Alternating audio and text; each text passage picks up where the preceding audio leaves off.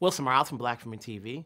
Obviously, you've been working behind the scenes for such a long time. Yeah. When did you know you were ready to get behind as the first, you know, for this your first film? And Mm. when did you know this was going to be the right project?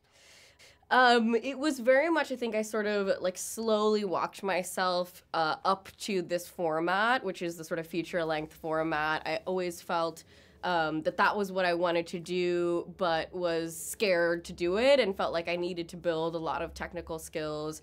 Um, so I sort of like edged my way to that thing by sort of doing music videos and TV and um, those kind of smaller formats. Um, and then I felt that I was excited to sort of dive into this this format of film. Um, and then right at that moment, I uh, kind of read this wonderful book by A.M. Shine called The Watchers, and it just felt like it was so kind of suited to the things I was interested in and excited me so much. And there's always a challenge of trying to adapt something that people know of. Yes, yeah. then making it to film, you have to take a liberty as far as what you have to leave out you know, what you have to add into it. You know, Mhm. how much pressure did you have going into that, knowing like, okay, I'm going to add a few changes, but still keep it faithful? I think for me, it felt somewhat naturalistic where I just loved the book so much that it was very much my intention to preserve. I thought what was so beautiful about this art piece. Um, and it was really wonderful. I had uh, was able to kind of talk to AM, who's the author, and we were very kind of close through the process. And I wanted to make sure that he didn't feel, uh, as an artist, like that I was I was kind of taking away his art or anything or doing doing something he didn't want. So we were very uh, communicative about those things, and it was just wonderful. I think um, a story can be many different things, and it's just uh, what format you're in can can make it feel altogether different. You know, there's the line, the apple doesn't fall from the far from the. The question is, will you change that line and do different genres? I think I'll always inevitably play a little bit within the sort of horror thriller genre. I think um, just by nature of what I'm interested in, that happens to be kind of the color palette that I love to play with. Um, but I'm very interested in kind of like pushing further and further and expanding more and more into sort of, yeah, like fantasy horror intersection and just the stories that I find compelling to me. Having done this, Yeah. skill set wise, you know, mm-hmm. you've worked on Servant and other stuff, but Yeah. now that you, this is your first film, mm-hmm. skill set wise, what did you pick up that you can now add to your whatever project you do next? I mean, so many things. I think the the yeah filmmaking journey, in my experience, is very much like a curation of the self, and it requires um, a great level of like endurance and communication skills and things that I think uh, were not natural to me. Um, and that I had to build. So it was just like I think any any format, the kind of exercise and going through the process gave me, I think, this like level of uh, a bit more confidence and a bit more. Um, I feel a bit more equipped to kind of go go kind of tell tell even even more crazy stories as I move forward. Yeah. Playing, in, there's a lot of projects out there. What's in cinema, what's streaming. Yeah. It's about letting people know, Yes. you know, that it's there. Yeah, absolutely. What's going to get people to watch The Watchers?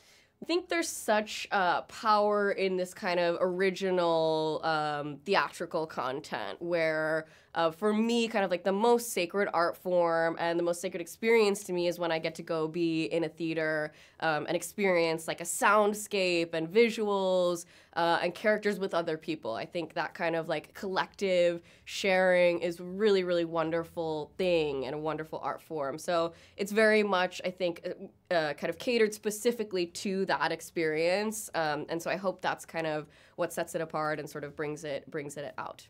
Congratulations. Thank you. Thank you. It was so lovely to meet you. Thank you. Wilson Morales from Black Film TV.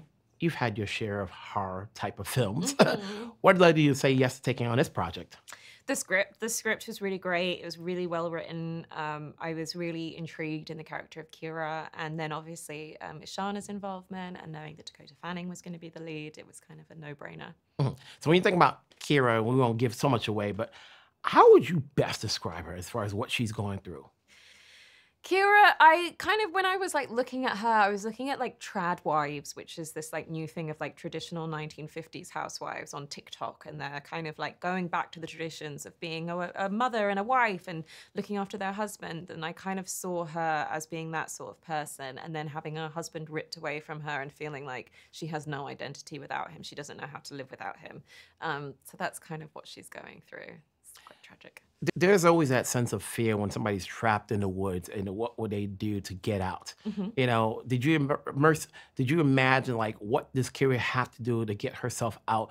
She's, you know, especially when you just said yourself, husband's not around. She's mm-hmm. now have to fend for her own. Yeah, I think that's the the point really is that Kira doesn't know how to get out and she's not trying to. She wants to stay. She wants to find her husband. She's in this delusion that he's still out there. Um, and really it's kind of Mina and Dakota's character coming in that changes everything. And Dakota's character has this kind of strength and um, ability to kind of rile them all up together.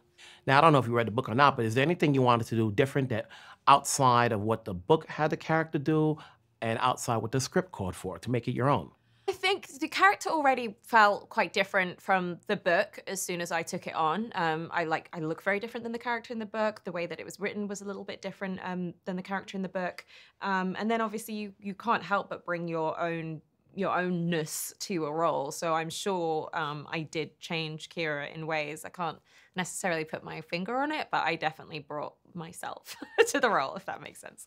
And you've had other projects, but people know this one. They're gonna know this one. They're gonna know, you know, Barbarian. Are you a scream queen, or do you want to get out of that genre? Am I a scream queen? Apparently, I'm a scream queen. I do you know what? I don't know. I feel like everyone gets, you know, it's like, oh my god, you're you're doing this too much, or you should be doing this, or you should be doing that. And I'm still kind of building my career, and I'm very happy and proud to do and get the jobs that I have. So I certainly wouldn't turn down another horror film if it was a good character and a good script. And uh, you know, I also would love to do other genres, and I have. So yeah. So what goes into saying yes? Is it the script, location, the people, or the time frame which you can do it?